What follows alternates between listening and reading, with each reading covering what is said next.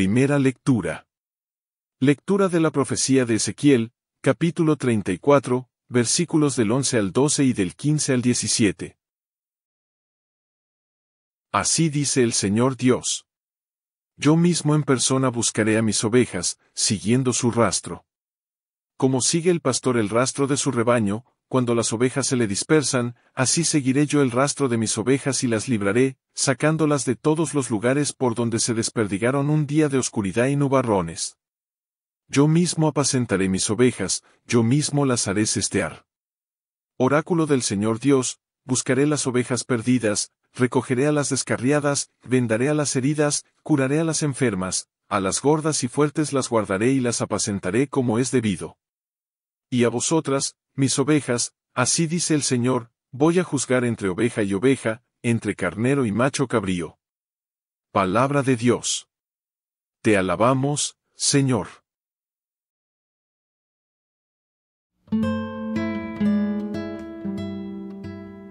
Al salmo responderemos. El Señor es mi pastor, nada me falta. El Señor es mi pastor, nada me falta en verdes praderas me hace recostar. El Señor es mi pastor, nada me falta. Me conduce hacia fuentes tranquilas. Y repara mis fuerzas. Me guía por el sendero justo. Por el honor de su nombre. El Señor es mi pastor, nada me falta. Preparas una mesa ante mí. Enfrente de mis enemigos. Me unges la cabeza con perfume y mi copa rebosa.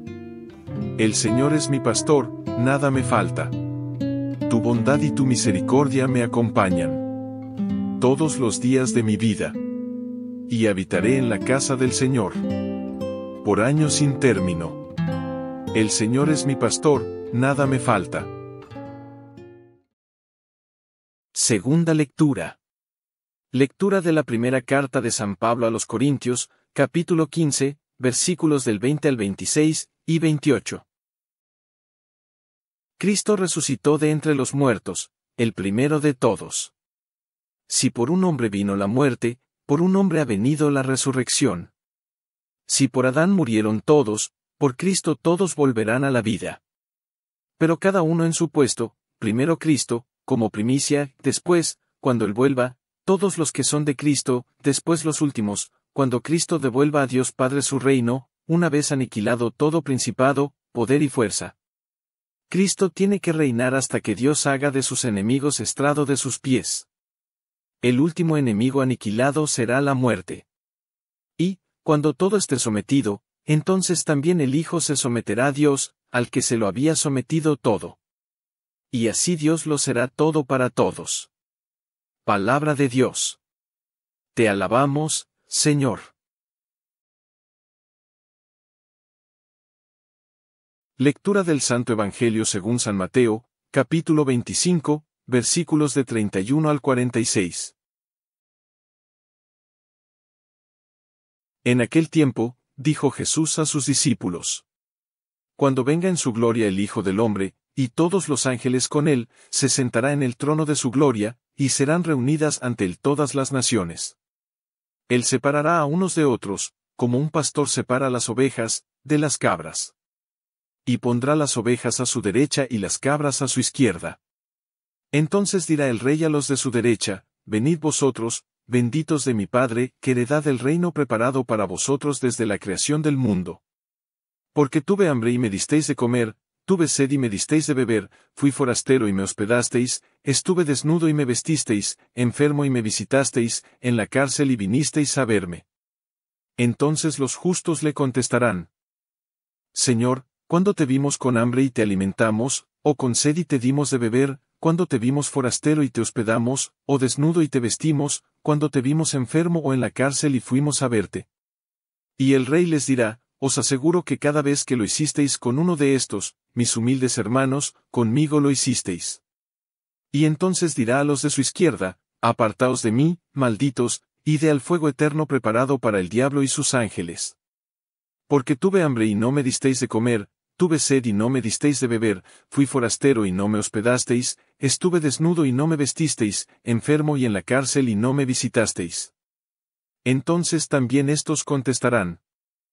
Señor, ¿cuándo te vimos con hambre o con sed, o forastero o desnudo, o enfermo o en la cárcel, y no te asistimos? Y él replicará, Os aseguro que cada vez que no lo hicisteis con uno de estos, los humildes, tampoco lo hicisteis conmigo. Y estos irán al castigo eterno, y los justos a la vida eterna.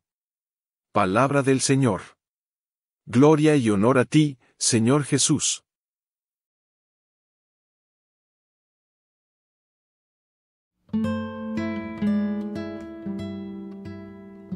Domingo 34 del tiempo ordinario, ciclo A.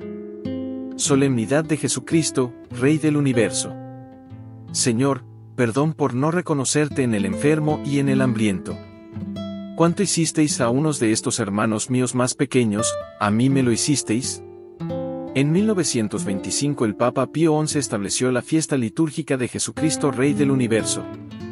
A la hora de concretar la naturaleza o condición de esta soberanía, se da por supuesta la confesión de Jesús en vísperas de su muerte.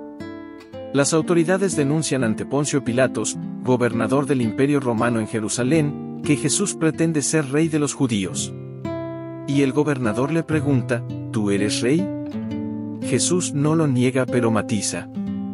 Mi reino no es como los de este mundo, no funciona con la lógica del poder y de las armas y añade, Sí, como dice soy rey. Para esto he venido al mundo, para dar testimonio de la verdad. Todo el que es de la verdad escucha mi voz. Pilato interroga. ¿Y qué es la verdad? Jesús no responde con palabras sino con la entrega libre hasta la muerte por amor a todos. Hoy concluimos el año litúrgico, el año de la Iglesia, con la solemne celebración de Cristo, nuestro pastor y Rey vino a nosotros como nuestro buen pastor y nos confió la responsabilidad de cuidar unos de otros. Cuando venga a evaluar nuestra vida y a verificar cuánto hay de bueno a sus ojos, y a los nuestros, Él nos preguntará. ¿Se han preocupado los unos por los otros? ¿Han servido ustedes a los demás, especialmente a los pobres y a los débiles? No es solo cuestión de servir a otros, se trata también de servir a Dios, ya que el prójimo en necesidad no es sino Cristo mismo, disfrazado. Se trata, por lo tanto, de un acto de fe profunda. En esta vida pidamos, pues al Señor, fe profunda y amor generoso. Con una grandiosa visión, el año litúrgico acaba con la celebración de Cristo Rey, y el próximo sábado, comenzará el nuevo año de la Iglesia con el Adviento. El Evangelio de hoy, de San Mateo, nos presenta la escena de Cristo nuestro Señor, que viene como Rey a juzgar a los hombres. Esta escena, es la contrapartida de las bienaventuranzas, donde los pobres y los que sufren se llamaban felices y dichosos. En el juicio, el Señor nos preguntará, ¿qué has hecho en favor de los pobres y de los que lloraban?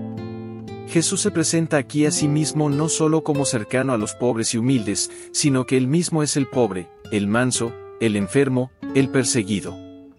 Y nos vuelve a preguntar, ¿me has encontrado en ellos? ¿Qué le respondemos? Hoy, Jesús nos habla del juicio definitivo.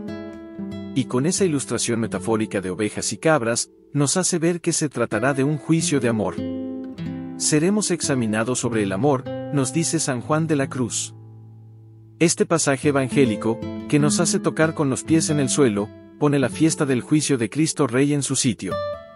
La realeza de Cristo es una cosa bien distinta de la prepotencia, es simplemente la realidad fundamental de la existencia, el amor tendrá la última palabra.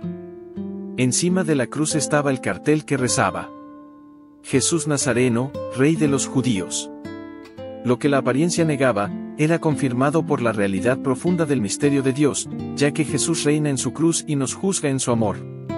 Seremos examinados sobre el amor.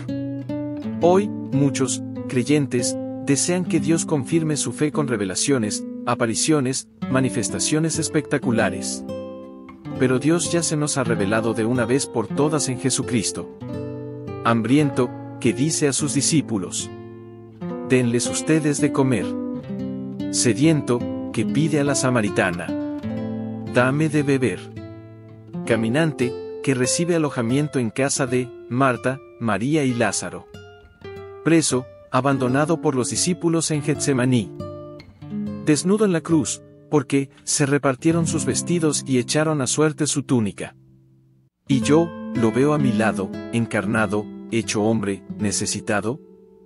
El Evangelio es la buena noticia de Jesucristo, la alegría de que el reino de Dios, su amor, está ya entre nosotros. A mí me invita a vivir ya en ese reino, a anunciarlo dando de comer, de beber, alojando, vistiendo, visitando a quien tiene necesidad. También me invita a verme hambriento, sediento, peregrino, desnudo. ¿Tengo hambre y sed del amor de Dios? Tomen y coman, tomen y beban, soy peregrino tras las huellas del Maestro, necesito revestirme de los mismos sentimientos de Cristo, ¿de qué pecados y esclavitudes necesito que Jesús me libere? Jesús nos dirá, les he dado el ejemplo, para que hagan lo mismo que yo hice con ustedes. Porque Jesús lo ha hecho por mí, yo puedo hacerlo por los demás.